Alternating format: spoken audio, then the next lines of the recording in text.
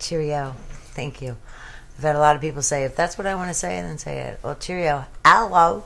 And then hello. So this is it's, it's hard for me to even talk about. But I've had so many people, sorry, I have a piece of hair right here. People commenting about it, which means, okay, and it's something I've thought about as well. So many of you are thinking about it.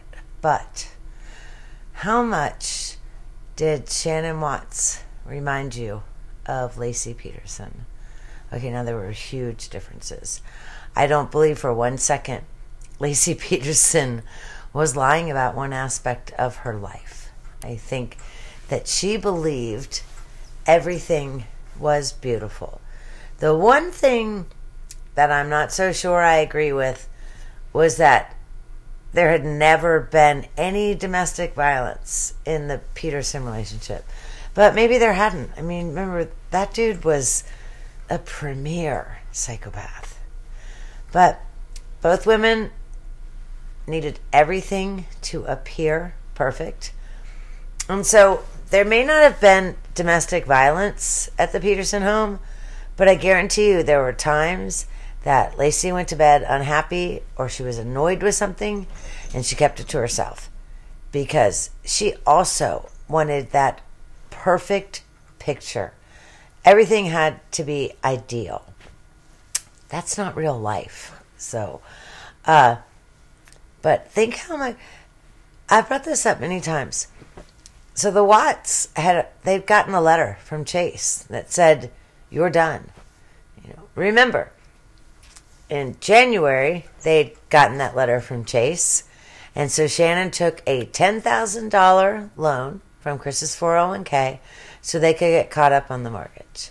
I guarantee that her nails were done that entire time as well. Uh, I bring that up all the time, but that's over a $100 a month that could have gone to something else. Uh, those stupid fucking oops, we did it again shirts. You know, that's between 45 and $68 or something. You're not getting that for $4. And it's, the gender reveal party was going to cost them money. I mean, Shannon Watts was not in reality.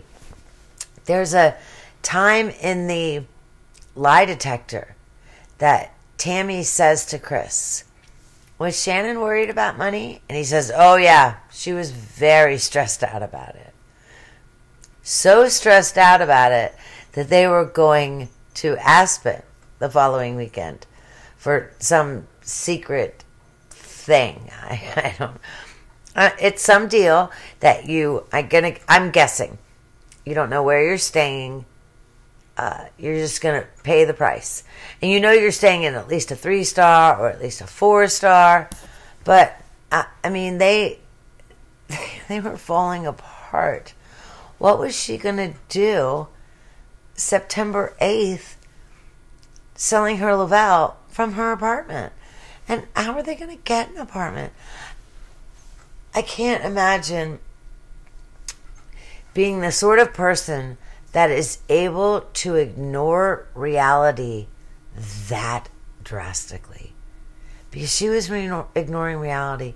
We already know she ignored a lot of stuff. You think about Bella sitting on the counter and she says, I'm hungry. And Shannon says, You want a laptop? I mean, I've already gone off on that. Fuck, man.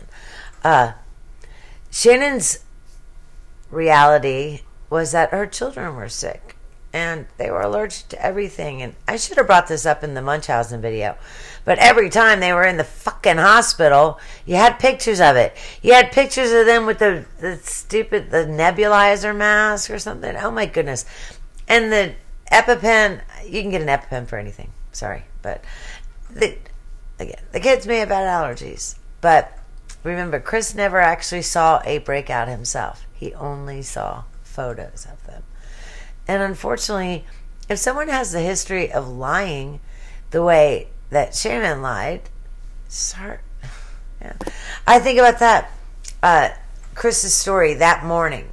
She was going to go spend the day with a friend. What? School started that day. She had just left to go to North Carolina for six weeks because God forbid her be alone all day with children.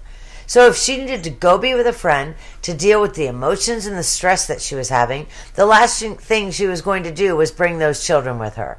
She'd have dropped them off at Penrose, Primrose, where they're paying 500 and change every week. My goodness, you're paying that much money? Fucking A right. Your kid's going to be there. They're going to get every meal offered to them. You pick your kid up early and they miss the juice and the snack. You're like, oh, I'll take it with me. Thank you. Because I gave you $525 this week. I just, oh, goodness. Okay. It makes me sick. Uh, my, my heart breaks for both parents. It's probably equally as hard. Well, shoot, it doesn't really matter what the man is like. It, I can't even imagine your child being murdered by a person who you loved, who you had brought into your family. And Laci's family had brought Scott into his family. And I'm going to tell you, I never really got the feeling that the Petersons really loved Laci. I felt like they didn't think she was good enough for him. And there was nothing wrong with her. She an educated woman. She wasn't trash. There was nothing wrong with her. Uh, okay. I'm, again, I'm not trying to hurt anyone. To me, these two women were just too creepily similar. If you're still watching right now, I am shocked. Hit like, hit subscribe. God bless America.